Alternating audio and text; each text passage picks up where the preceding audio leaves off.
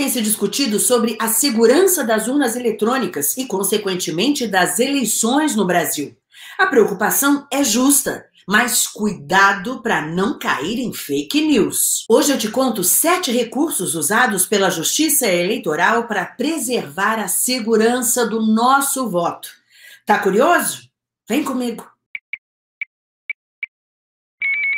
Olá, eu sou Luciana Liviero e se você é novo ou nova por aqui, bem-vindos ao canal Luciana Liviero. Inscreva-se, aperta o sininho para não perder nada do conteúdo do canal e não vá embora sem deixar o seu like para mim.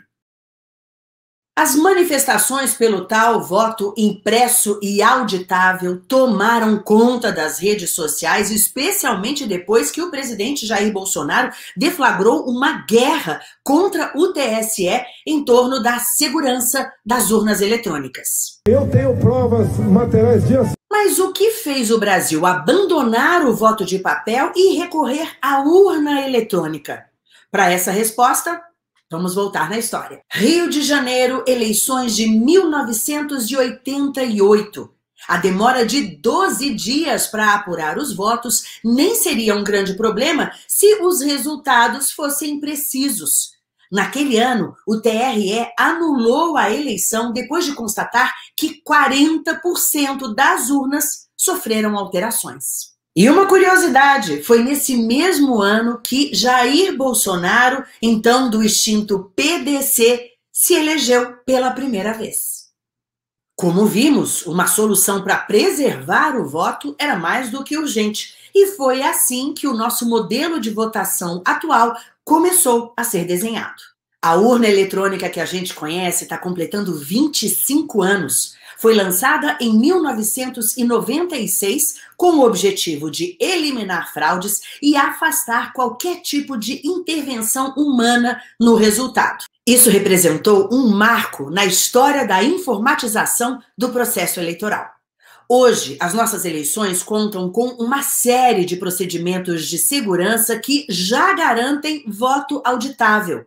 Eu vou mostrar aqui sete pontos que comprovam isso. Primeiro, o teste público de segurança. Esse é um evento de que qualquer cidadão pode participar. Entre eles, por exemplo, os chamados hackers éticos, que atuam voluntariamente para descobrir falhas de segurança e colaboram para o aperfeiçoamento do sistema. Segundo, a lacração de sistemas. É um evento realizado 30 dias antes da eleição em que Todos os equipamentos são lacrados e assinados digitalmente, na presença, inclusive, dos partidos, representantes da campanha, OAB e quem mais quiser participar.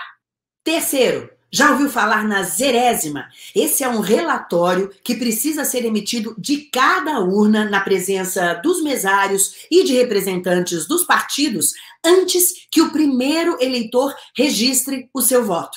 É um documento que serve para comprovar que naquela urna estão todos os candidatos e que não há nenhum voto computado. Quarto, o boletim de urna. Com o celular, você, eleitor, pode conferir o resultado apurado em cada uma das sessões e comparar com o extrato que é impresso e exposto naquela mesma sessão logo no final da votação. Sim, você ouviu bem impresso e são cinco boletins impressos. Neles constam os votos para cada candidato, votos brancos, votos nulos. E é com esse material que você pode, sim, auditar os votos de cada urna. Quinto, acompanhando todo o processo de apuração tem os fiscais eleitorais e os delegados de partido.